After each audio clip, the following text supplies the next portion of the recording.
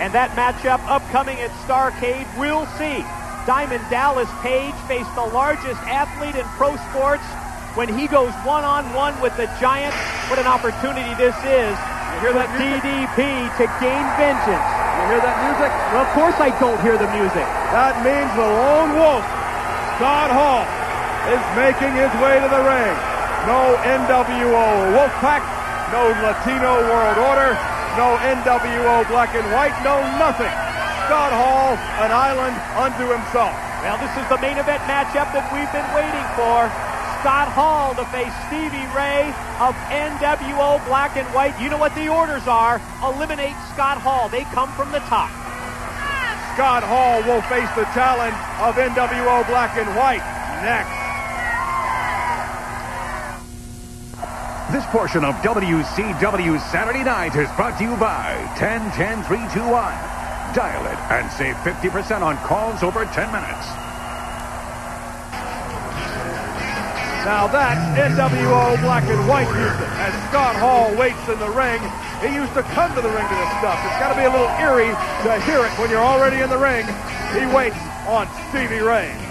And in my opinion, Stevie Ray is a representative of the new leader of the NWO, Big Poppa Pump Scott Steiner. Almost from the outset, from day one, the heir apparent to Hollywood Hogan, Scott Steiner has talked about the first order of business being to eliminate Scott Hall, former member of the NWO Black and White, and they want to eliminate him through injury, through any means necessary. They just want Scott Hall out of pro wrestling. Well, let's not forget what went down. Oh, here comes Vincent. Well, there is strength in numbers, I guess. But, and Horace Hogan.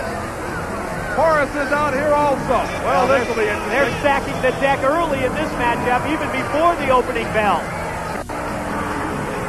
Remember, these are the three men that jumped Scott Hall last Monday on Nitro when Scott Hall and Scott Steiner thought they were going one-on-one. Scott Steiner knew better when these three hit the ring, and right now it's three-on-one. That's an uneasy look on the face of Scott Hall. He's been on the opposite side of the ring with these men on so many occasions. Now he's going to have to fight them off. And let's not forget last Saturday night when Oh. Scott Hall was one-on-one with Booker T and Stevie Ray hit the ring. Momentary distraction by Vincent right at the opening bell allows Stevie Ray to sneak up from behind and take control early on. just throttling Scott Hall on the mat here on Saturday night. It's our main event. And Vincent and Horace, neither of whom I'm sure have a seconds license, but nonetheless seconding Stevie Ray. And Scott Hall can't count on anyone. He's not a member of the Wolfpack, not a member of the LWO, not a member of the AFL-CIO or any other organization that's all letters. He's out there by himself. And as we've seen, you talked about strength in numbers earlier, Scott Hudson. There's something about that joining a faction, whether it is NWO Black and White, whether it's the Wolfpack, whether it's the Latino World Order. It just seems that when you have that many people to confront the opposition, you are going to be able to take advantage and take control just like the New World Order has. Stevie Ray taking over on Scott Hall, sets Scott Hall up, shoots him across, Hall into the rope. Oh. oh, and Stevie hit the clothesline. Is that a pinning combination? No, Billy Silverman thought he was going for the pin, just put the knee across the throat of Scott Hall. Yeah, it wasn't a pin attempt. It was an attempt to choke Scott Hall. That big leg of Stevie Ray right across the windpipe. Two weeks and a day away from Starrcade 98 in our nation's capital, Washington, D.C. Kevin Nash gets his shot at Goldberg, and Goldberg last week, Mike, featured in a very, very good article in People magazine.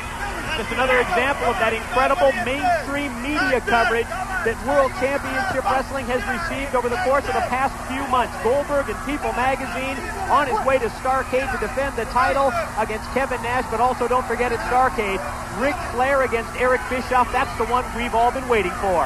Ric Flair, I haven't asked him, but I guarantee you would probably trade each of his 13 world championships for one shot at Eric Bischoff. He doesn't have to do that. He's got his shot the 27th in D.C. And don't forget, it's Diamond Dallas Page in payback mode after that interference from the Giant caused him to lose the U.S. Heavyweight Championship to Bret the Hitman Hart. Diamond Dallas Page is signed to go one-on-one with the Giant at Starrcade. It's all on pay-per-view. Still plenty of time to call your cable company or satellite provider and say, hey, I gotta have the granddaddy of them all. Starrcade from WCW and NWO. Well, this has been Stevie Ray in the driver's seat almost from the outset.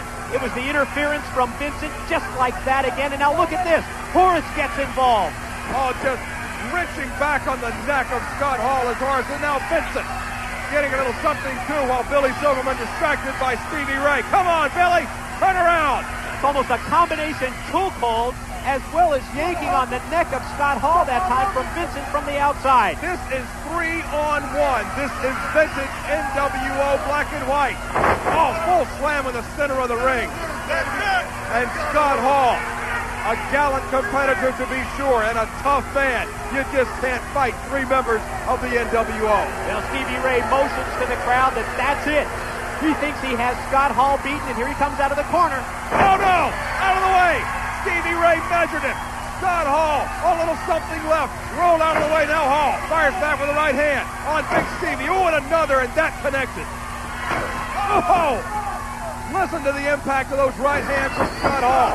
Corner clothesline from Hall on Stevie Ray. I think he's got Stevie Ray in trouble here. Look at that right hand. Oh, did you hear that? That impact from Scott Hall's hand across the face of Stevie Ray. Here we go. Whoa! He got him over with the fall away slam. The overhead from Scott Hall. Oh, now wait a minute. Vincent hits the ring and caught another right hand. Now Horace up on the apron. Oh, Hall ducked out of the way. Oh, Horace has got Hall tied up in the ropes. No! Ray caught Horace. Roll up, turn around, referee Silverman. This may be it two. Got him. Three. Scott Hall got him. Three on one.